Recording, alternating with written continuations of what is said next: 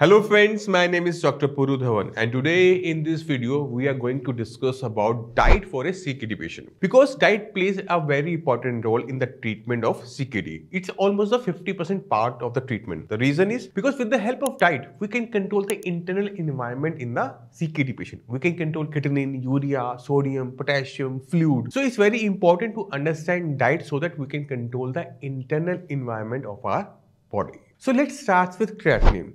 To control the level of creatinine in a CKD patient, we have to understand creatinine first, where it forms, what is the raw material for it, then only we can control the level of creatinine in a CKD patient. So basically, creatinine is a protein-based waste material produced by our muscle during muscle metabolism. And it forms equal, almost equally in every individual, but it only accumulates in a CKD patient because of non-functioning of the kidney. If somebody wants to control the level of creatinine inside the body, we have two ways. First, we can limit the amount of raw material which is forming the creatinine. First thing. Second, we can increase the excretion of creatinine through our kidneys. But in today's video, I will explain you how we can control the level of creatinine with the help of diet, how we can control the production of creatinine in our body. But in another video, I will explain you how we can improve the kidney functioning, how we can excrete creatinine more from our body so that the level of creatinine can be brought down. So to control the production of creatinine in human body, we have to control the raw material intake and that is protein. So I advise all my patients to go for protein-free diet. In this diet, we advise patient to not to take any kind of complex protein like fish, chicken, mutton, pork because they are hard to digest. And when we intake such kind of complex protein, when it goes into our metabolism, it breaks down into smaller particles. And during this process, lots of waste material is produced, which is harmful for the body because kidney is unable to pass it through urine. Instead of complex protein, I advise all my patients to go for simpler kind of protein. Protein like milk, legumes, pulses and that also only once or twice in a week because that will be sufficient for a human body to survive. If we consume this simpler protein also in a large quantity, the same thing will happen, the level of creatinine will increase. Now the question arises, our whole body is made of protein, our nail, hair, eyes, everything is made of protein. If we restrict the amount of protein intake, what will happen? And the answer is nothing will happen because when we consume carbohydrates, it goes into our body and converts into protein as per the body's requirement. So there will be no deficiency of protein until and unless there is heavy protein loss through urine in a CKD patient. So we can go for protein-free diet or protein-restricted diet depending upon the reports of the patient. Now let's move to urea. On the same principle, you have to understand where and how urea forms in our body. So basically urea is formed by our liver during food digestion. When we consume any kind of food, it goes to our digestive system and liver breaks it down in a smaller particle. During this process, lots of urea is produced which is eventually passed by our kidney through urine.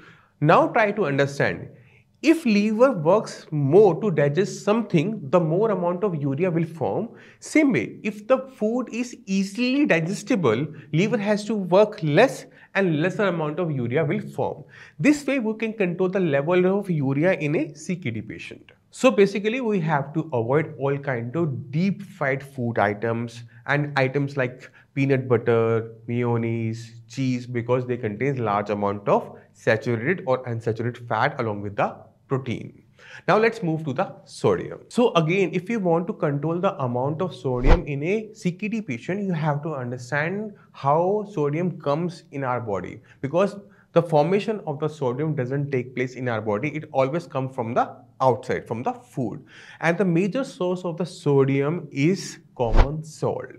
So if the patient is suffering from BP or pedal edema or level of sodium are high in the reports, then only we have to cut the amount of sodium.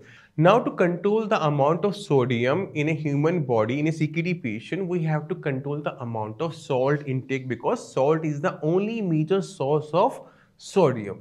We have to avoid sprinkling salt on anything like salads. We have to avoid snacks, chips, and savories. Take only limited amount of salt which is necessary to make the food eatable. By this way, not only you control the level of sodium in a CKD patient, but also you control the level of BP. You control the pedal edema because when we take large amount of salt, complications happen. Complications like high blood pressure and pedal edema are also associated with the high sodium composition of the human body. As of now, we have discussed how we can control the level of creatinine, urea and sodium with the help of diet in a CKD patient. In second part of this video, I will explain you how we can control the amount of phosphorus, potassium, fluid and as well as acid. But before leaving, I want to show you some of my results. Hi, my name is Betcheva Sarah Gamaran and I'm a kidney patient and I found out I had stage 3B kidney disease, getting very close to having to have dialysis. And it absolutely shocked me. So I did all kinds of um, learning and studying and trying to figure out how outside of modern medicine I could get help. And I understood uh, there was a place called SRIAAS Institute in India that could help me. I also have um, and had for many years um, um, diabetes. But anyway, um, the Dr. Kumar and Dr. Uh, the doctors there, they all worked together and they were wonderful in helping me. And um, I was shocked after just three months of medication that I went from stage 3B kidney disease to stage 1 basically. Um, but the doctors here say that I will always probably be a kidney. I had a lot of kidney stones years ago. I was very much overweight. I've lost a lot of weight since then. And um, the Doctors at SRIAAS Institute advised me to go vegan. And they gave me a diet plan, and I hired a dietitian to help me along with the medication that they sent me. And with the medication that they sent me, and with the diet that they advised me to be on, I've actually been able to get my diabetes down to where it's um, the A1C is 5.1, which is not even diabe diabetic any longer.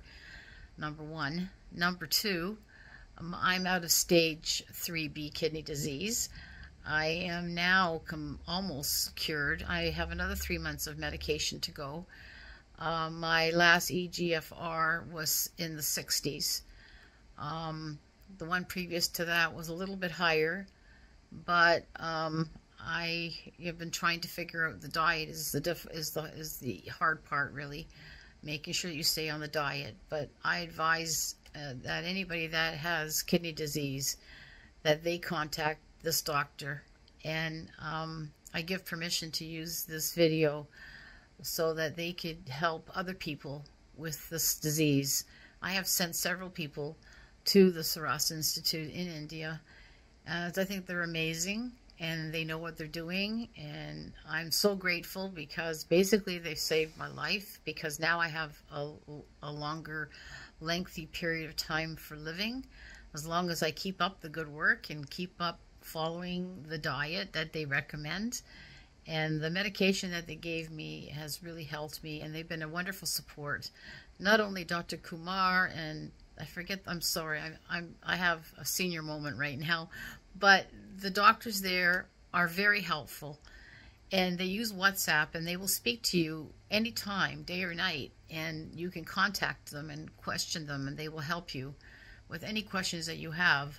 So, like, I am very grateful to them, and I just want to share this amazing story of a true person, a real person who has um, gone through this.